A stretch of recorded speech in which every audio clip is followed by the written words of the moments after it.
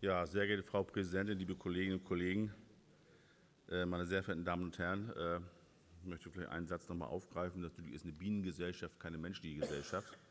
Äh, Im Bienenstock gibt es eine Königin und viele Arbeiter. Eine Biene lebt nicht viel länger als vier Wochen bei der harten Arbeit, ist auch genetisch vorprogrammiert. Und es ist auch so, dass also wenn eine Biene in den Stock einfliegt und allein anders riecht, wird sie totgebissen. Also es ist nicht ein, nicht ein sehr demokratisches äh, Verhältnis an der Stelle. Äh, gleichwohl gehört die Biene natürlich zu den wichtigsten Nutztieren auf der Erde.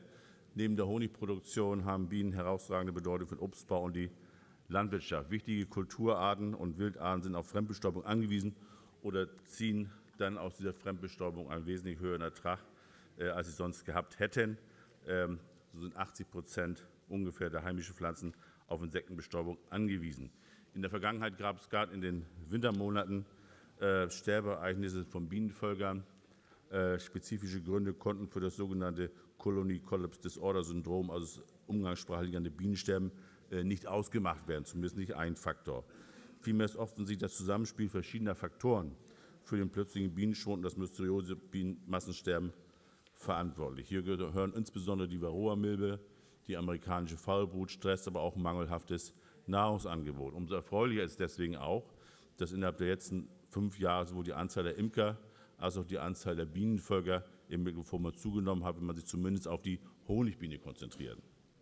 So meldete die zuständige Tierseuchenkasse des letzten Jahres von Mecklenburg-Vorpommern ungefähr 30.000 Völker, die von äh, rund 3.200 Imkern gehalten werden. Dies entspricht einem Zuwachs von 25 Prozent bei den Imkern und 18 Prozent bei den Bienenvölkern, also eine durchaus äh, positive Tendenz.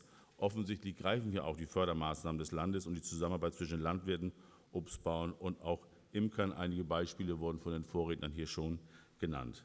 In den zurückliegenden Jahren wurden seitens der Landesregierung zahlreiche Fördermaßnahmen zur Unterstützung der Imkerei aufgelegt. Hierzu zählen unter anderem die Förderung und Unterstützung der Bienenzucht und Bienenhaltung in Mecklenburg-Vorpommern insgesamt, Schulungsmaßnahmen für Anfänger, Imker und Bienensachverständige, die Förderung der Zucht auf Varroa-Toleranz, die direkte Bezuschussung von Ausrüstungsgegenständen oder die Fördermöglichkeiten der Landwirte im Rahmen der Agrar- und Umwelt- und Klimaschutzmaßnahmen zur Anlage von Bienenweiden oder auch extensiv genutzten anderen Stücken. Insbesondere das Anlegen von sogenannten Bienenweiden unterstützten Landwirte ähm, und die Imkerei in unserem Land. Denn äh, nur mit einem ausreichenden Trachtangebot über, das, über den Großteil des Jahres hinaus ähm, kann die Existenz der Bienen über eine gleichmäßige Nahrungsgrundlage gewährleistet werden. Allein zur Eigenversorgung braucht ein Bienenvolk ca. 50 Kilogramm Honig und 20 Kilogramm Pollen pro Jahr. Gerade im zeitigen Frühjahr und insbesondere ab der zweiten Sommerhälfte finden Bienen nur spärliche Futterquellen. Damit die Bienen eine ausgewogene Nahrungsgrundlage halten, muss ein fließender Übergang zwischen den Blühzeiten einzelner Pflanzenarten erreicht werden. Zur Verbesserung des sogenannten Trachtfließbandes gibt es eine ganze Reihe von geeigneten Maßnahmen. Dazu gehören zum Beispiel Zwischenfruchtanbau, äh, Bienenweiden, mehrgliedrige Fruchtfolgen und ein breiteres äh, Fruchtangebot im Bereich der Landwirtschaft. Ähm, meine sehr verehrten Damen und Herren, auch die Etablierung von dauerhaft angelegten Biotopen oder von ein- und mehrjährigen Blühstreifen, die anschließend wieder ackerbaulich genutzt werden können, ist hier nur ein Anliegen im Interesse der Imker. Dabei darf es aber nicht dazu kommen, dass wegen eventuell mehrere Blühflächen aufgrund der extensiven Nutzung zu Schutzgebieten erklärt werden. Ähnlichen Effekt haben wir ja teilweise auch bei Stilllegungsflächen und exzessivem Grünland auf Ackerflächen zum Beispiel, dass der Status dort nicht, dort nicht verloren geht. Sonst sind also Landwirte auch kaum bereit, sozusagen hier extra Flächen anzulegen. Natürlich klang auch schon an, spielt auch die Bildung äh, in allen Bereichen des Lebens, so auch im Bereich der Imkerei, eine entscheidende Rolle.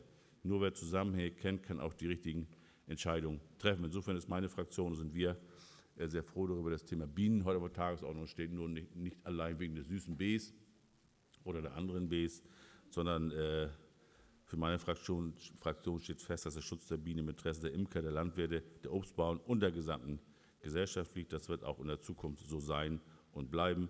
Deswegen werden wir in der nächsten Landtagssitzung einen konkreten Eintrag, Antrag einbringen, der sich mit Problemen der Imkerei in unserem Bundesland befassen wird. Haben Sie recht. Herzlichen Dank für Ihre Aufmerksamkeit. Vielen Dank, Herr Abgeordneter. Für die Fraktion